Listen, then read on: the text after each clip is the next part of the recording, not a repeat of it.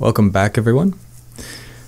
So today we're going to be doing some data recovery from a disk image inside uh, Linux and I'm using Ubuntu, uh, Ubuntu Linux uh, or Linux Mint actually as my forensic workstation and before we copied, we acquired a disk image from our, our hard drive, uh, our suspect disk connected to a, uh, a write blocker and now I have this suspect disk image, and it's a, about a 4.1 gigabyte uh, suspect disk image. And I'm inside, I've opened up a uh, terminal or a command prompt, and I'm inside the cases 001 images 001 folder. And if we look at the directory, and in Linux, um, we list the directory using ls, ls, and that shows me all of the uh, files inside this folder. So ls-lha shows me a little bit more information about um, this, this directory. Uh, so here we have um, one image, the image file inside, and it's a DD image or a raw disk image, and uh, total uh, about 3.8 gigabytes.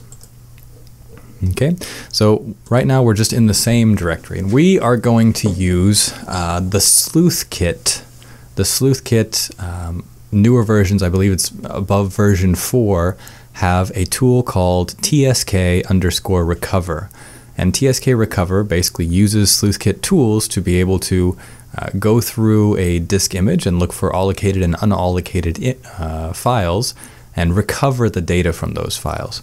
Um, the way sleuthkit works is very interesting, and if we have time uh, uh later, we might go into it a little bit more in depth. Um, but for now, let's just use the tool TSK Recover, which is a relatively easy way to recover your data. Um, in Windows, we were using uh, Photorec, and Photorec also works in Linux. Uh, Photorec will be installed by default in most uh, Linux forensic distributions, uh, but the sleuthkit will also be installed in those distributions.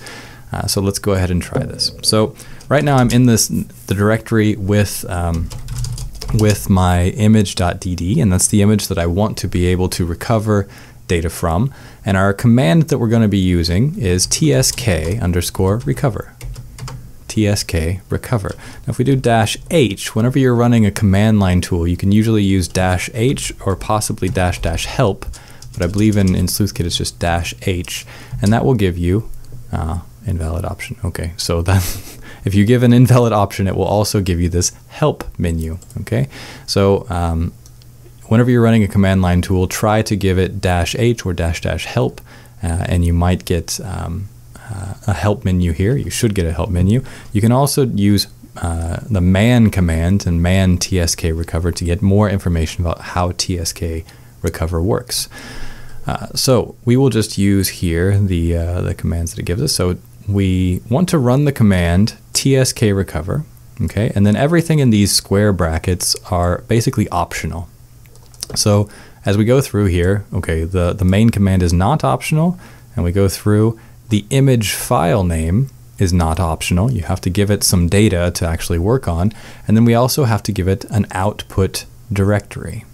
Okay, now there's a couple different options in here that we might want to give it depending on how we're carving or how we're trying to recover some data. Um, but uh, let's let's uh, look at each of those in turn. So first I'll type tsk recover, okay, and then we go through the options. So uh, I is the image type. Well, we do know our image type. Um, if we do I, here it says use I dash I list for supported types. So if we do tsk recover dash i list, hit enter, these are all of the types that it supports. Okay, so um, our image is actually just a raw disk image, but it also supports several other file types. Um, yeah, so some several other file types. So uh, I'm going to go ahead and clear this. Okay, so we are going to run uh, tsk recover, uh, tsk recover and then dash i, and my image type is raw. I know because it's a DD image. Um, uh, the the device sector size uh, we don't actually we do know this because it was in our um, it was in our documentation. Remember we've already seen this before. I believe this was uh, 512 bytes. Um, however, I'm not going to set this right now. This is optional, so I'm going to make this as easy as possible. Um, file system type, uh, we do know the file system type as well. Uh, it was FAT32, but I'm also not going to set the file system type. And uh, TSK is pretty good now about um, detecting detecting file systems and, and, and, partitions and things like that. I'm going to leave these two blank, even though I, I know both of them, just to make things a little bit easier.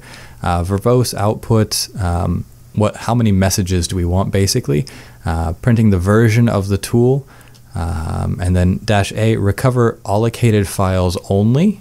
Well, we don't want to recover allocated files only. That would recover only the files that are currently allocated in the system, which I could have recovered directly from the uh, USB stick. Um, e, recover all files, allocated and unallocated. And this is really what I want to go for. This is similar to how uh, uh, PhotoRec works, where it's recovering allocated and unallocated. Remember, PhotoRec had the option to collect, uh, to basically look at the whole disk or free space.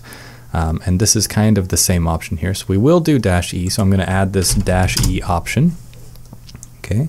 Uh, sector offset, sector offset for a volume to recover. Um, and we don't want to recover only a particular volume, although we could.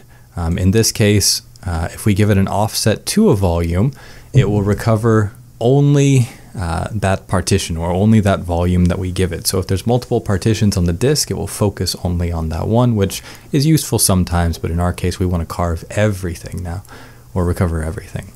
Uh, dash D and then the drive inum is the directory inum to recover from. So in this case, we can give it uh, um, basically this inum uh, that points specifically to uh, that points to a specific directory inside the disk image. Okay, so we're basically saying I want to carve data out of only this folder inside this partition. Notice we have to use it with the dash O uh, option. So um, in this case, we have to give it basically the locate the starting location for our partition, and then we give it the uh, directory inum or the the the identifying number for a directory that we want to carve directly out of. So you can be quite specific on these things if you only want to carve uh, files out of a certain location. However, we want to carve everything. So we want to carve everything and we want to carve allocated and unallocated. So we're going to say tsk recover dash i, which is the image type, and then we want to say raw, which isn't necessary exactly because TSK should, or the sleuth kit should be able to uh, detect our image type, but I'm just putting that to make sure. Uh, dash E says recover all files allocated and, unallocated, and unallocated. And then we need to give it the image name, and my image name is image.dd, okay? And then the output directory. My output directory is dot dot dot dot temp, okay?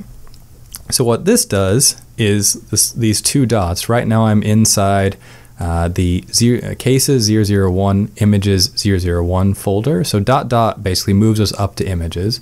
Dot dot moves us into 001 and then I want to go inside this uh, case folder into the temp directory. So let's see what that looks like um, as a uh, file structure. So right now we are inside the images folder inside 001.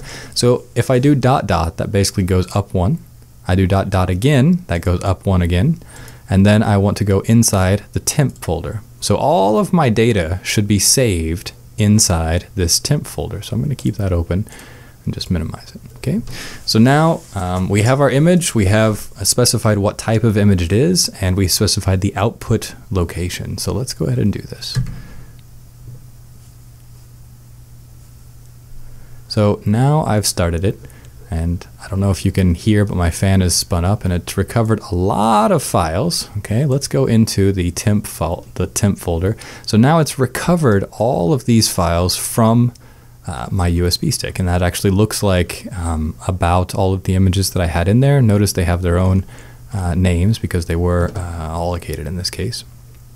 Uh, we have a Python script. We have system volume information, which is a Windows um, folder that Windows automatically creates. And then we have a bunch of different emails from the Enron uh, email thing. And we recovered all of the data. Now, most of this, most, not all, but most of it uh, was allocated. Let's see if we can find anything that wasn't. It looks like pretty much everything was allocated here. So all of this data was recovered from the disk image, and now I have this data available on my forensic workstation. There's a, a lot of different things I can do from here. Um, I could start to analyze all of this data. I could start to search it for strings, search it for viruses, um, basically just look through all of this uh, either manually or with tools. Um, what I'm going to do right now, though, is uh, show, let's see, so whenever we were using Windows, so now I'm inside the directory, I can see all of these um, these uh, images. Um, I'm going to open up one of these images. Let's say 58.jpg. I'm going to open up one of these images with a hex editor just so we can see again. So one thing we talked about whenever we were using Windows um, was how does this carving work? And carving using TSK Recover uh, works a little bit differently. Basically, we're, we're looking through all the um, the file system. They're parsing out the file system directory and looking at the file system. Um, but the way that we recover data using like PhotoRec, one of the ways that they have, is looking at these magic numbers or this uh, file header for JPEG data. Where is it? About there.